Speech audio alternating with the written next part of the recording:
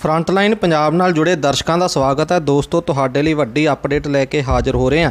Channel ਨੂੰ subscribe ਕਰੋ, video ਨੂੰ ਅੰਤ ਤੱਕ ਜਰੂਰ ਦੇਖੋ। ਕਰੋਨਾ ਵਾਇਰਸ ਮਹਾਮਾਰੀ ਦਾ ਕਹਿਰ ਪੂਰੇ ਦੇਸ਼ ਦੇ ਵਿੱਚ ਲਗਾਤਾਰ ਜਾਰੀ ਹੈ। ਇਸੇ ਦੌਰਾਨ ਪੰਜਾਬ ਦੇ ਵਿੱਚ ਵੀ ਕਰੋਨਾ ਵਾਇਰਸ ਦੇ ਕਈ ਮਾਮਲੇ ਸਾਹਮਣੇ ਆ ਰਹੇ ਹਨ ਤੇ ਕਰੋਨਾ ਵਾਇਰਸ ਦੇ ਨਾਲ ਨਾਲ ਹੁਣ ਇੱਕ ਨਵੀਂ ਬਿਮਾਰੀ ਦੀ ਆਹਟ ਹੈ, ਜਿਹੜੀ ਪੰਜਾਬ ਵਿੱਚ ਹੁੰਦੀ ਦਿਖਾਈ ਦੇ ਰਹੀ ਹੈ, ਜਿਸ ਕਰਕੇ ਪੰਜਾਬ ਸਰਕਾਰ ਡੂੰਘੀ ਚਿੰਤਾ ਦੇ ਵਿੱਚ ਹੈ ਤੇ ਉਹਨਾਂ ਨੇ ਸੂਬੇ ਦੇ ਵਿੱਚ ਹਾਈ ਅਲਰਟ ਜਾਰੀ ਕਰ ਦਿੱਤਾ ਹੈ। ਦਰਅਸਲ ਲੁਧਿਆਣਾ ਦੇ ਪਿੰਡ ਕਿਲਾ ਰਾਏਪੁਰ ਵਿਖੇ ਸਥਿਤ ਸੂਬਾ ਸਿੰਘ ਪੋਲਟਰੀ ਫਾਰਮ ਅੰਦਰ ਬੋਰਡ ਬਰਡ ਫਲੂ ਦੇ ਸੈਂਪਲ ਮਿਲਣ ਤੋਂ ਬਾਅਦ ਜ਼ਿਲ੍ਹਾ ਪੱਧਰ ਕਮੇਟੀ ਦਾ ਗਠਨ ਕੀਤਾ ਗਿਆ ਹੈ, ਜਿਸ ਦੀ ਅਗਵਾਈ ਖੰਨਾ ਦੇ ਏਡੀਸੀ ਸਤਕਾਰ ਸਿੰਘ ਬਾਦਲ ਨੂੰ ਸੌਂਪ ਦਿੱਤੀ ਗਈ ਹੈ।